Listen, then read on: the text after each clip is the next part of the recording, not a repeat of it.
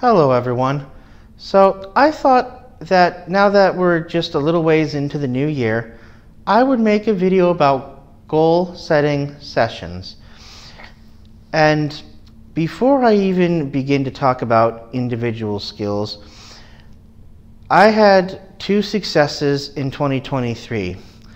I got um, very good at editing video and I read over 100 books, which was way more than my original target. And I thought I might offer some advice. So, the most important thing to remember about a goal, and you know, yeah, okay, you can call it the New Year's resolution if you want, is it should be obtainable. And what that means is it's far better to set a very a humble goal and actually succeed than it is to set an over the top goal that you're not going to reach. So, what are some of the ways going into 2024 uh, that you can accomplish a goal, so to speak? Uh, you know, um, a lot of it is is trying to figure out how, you know, learn how to learn. In other words, and for that, there are sort of four things that you can do these days.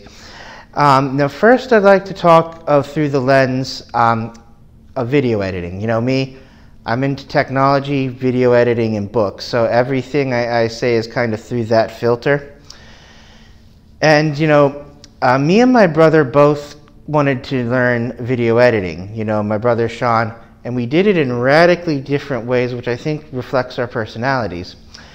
Me, I very slavishly gave myself a schedule and said I'm going to do this many videos per week, come hell or high water. And within six months, I would say I learned most of what um, I needed to learn and could finally call myself a pretty good video editor. I was self taught. I did nothing but, you know, online tutorials, most of that through YouTube. My brother Sean, on the other hand, took about three years to get a certificate from a local community college. And uh, there are advantages or disadvantages to either one. You know, uh, me, I did not spend a single dime to learn what I learned, and the video editor I used came free with the computer I own. So there's that. Now the downside is, is I don't have any mentors. Remember, I did not become a video editor to make money off of video editing, although if I can do that, that's great.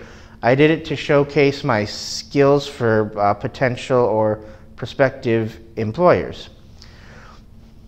Now, even though my brother Sean spent more of his money to learn his skills, uh, he was, as I said, he did it over three years. You know, again, befitting the difference between our personalities.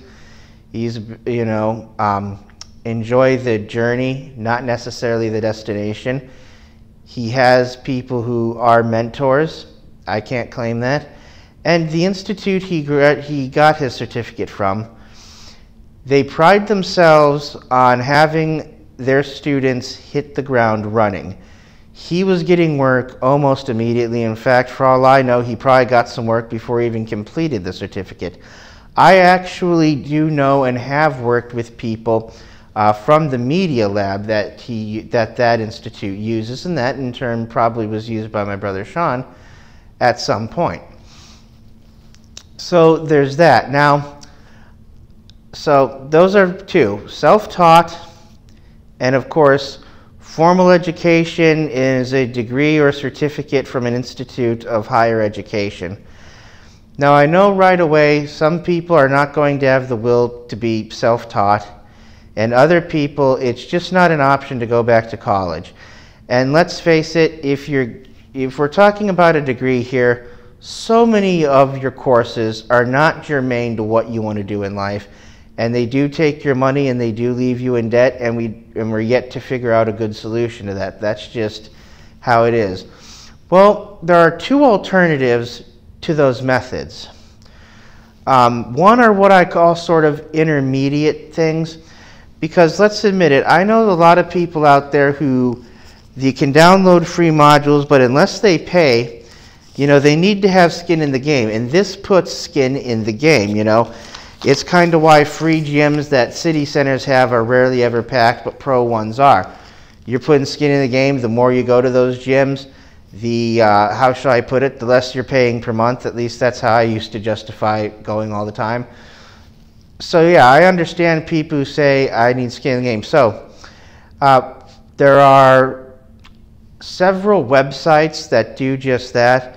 That will give you tutorials. Um, there's learning sites like OK Skillshare is a very good example of that. Uh, Codecademy, if you want to learn anything with computers, is a good example of that. Oh, also, too, Codecademy falls into what I like to call the freemium uh, learning websites, and that is that you can do several free modules and then decide to upgrade to pro. Um, I'm going to just throw this uh, graphic up here. You know, you, you can see Cybraries in the same vein there. And then there's the massive online open courses, so sort of abbreviated MOOC, which I call MOOC. I'm not sure if that's like proper terminology, but it's, it's what I use. And uh, these are courses sometimes affiliated with actual colleges and you know sometimes uh, not. So you know you're thinking like uh, Udemy. I think I had edX up there. Uh, a big one is Coursera. So um, I think there's Udacity. So there's a bunch that you can go to.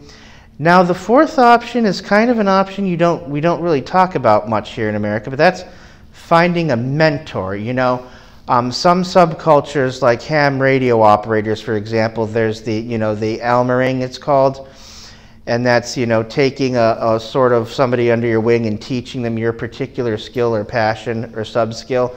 All in all, in America, you know, mentorships or apprenticeships aren't really a thing, probably because of uh, decline in community. You know, it, uh, it is what it is. But uh, I was introduced to uh, human trafficking, a field I do constant research on, by my mentor, David Manville. You know, I never took a single course in human trafficking, but yet I know a lot about it. Now, granted, I do have uh, a graduate degree, which means, you know, I can study, but, and I, you know, used that as an excuse to do several human trafficking projects but I've never taken an actual official uh, course or even gone through an actual workshop with human trafficking. It all started with my mentorship with David Manville, and then out of that, you know, came just me hitting the books. So, you know, that can be a bit of a hybrid there. Now, you should look at things in your life that are unproductive counterproductive, and possibly even self-destructive that are going to, you know, impede your goals. You know, what are some things you do that are time wasting? Uh, do you play video games too much? You know, you, you, are you that person who's on a video game and then you look up and it's it's not noon, it's now like uh, 3 p.m. or something like that? That happens to um, a lot of people.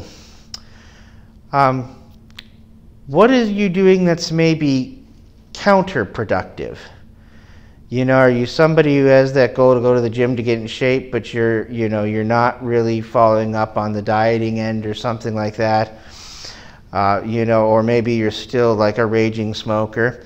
Um, do you spend too much of your money at the bar? You know, I, am a veteran. It's almost like my second church. Uh, I imagine a lot of people are in that same vein. You know, um, and I would say, do you maybe even have some something you're doing that's self-destructive? Uh, and, and, this is something that maybe could cause you some some serious harm.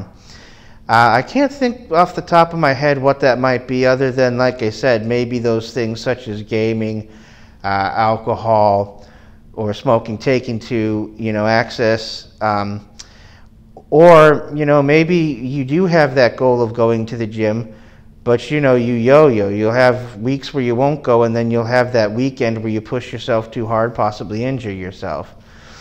So, you know, look at all these all these things and, you know, uh, judge yourself accordingly. I think we'll all find that we all have things that are at least unproductive and counterproductive that we do.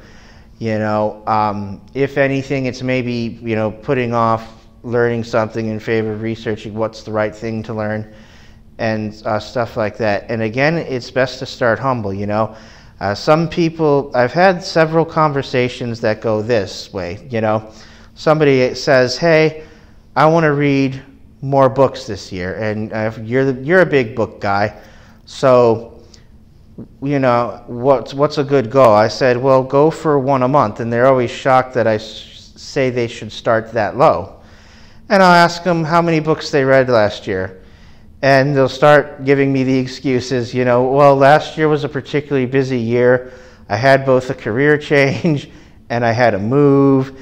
And eventually they circle to, I didn't read any books last year.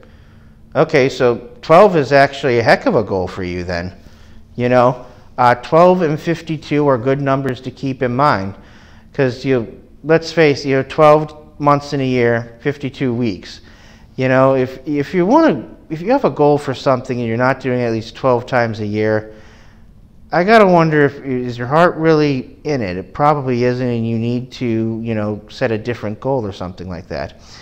Either way, um, that's going to be um, my wisdom going into the new year. Also, the one last thing I want to touch upon is certainly I fall into this category. I, am going to show you this feedback loop here. Yeah, has this ever been you? Do you ever avoid something simply because it's time consuming? And it's, let's face it, it's time consuming because you put it off to the last minute, you know. Um, a lot of people are like this. I'm certainly like this with statistics. One of the reasons why I used to not like it and video editing. Because it was time consuming, because whenever I did it, I had to relearn it because I fell out of practice with it. You know, and uh, this year when I started, or I'm sorry, last year when I started video editing, I did not like it. I did not think I would post as many videos as I did. But I got good at it. And I got into practice. Anything can become habit anything.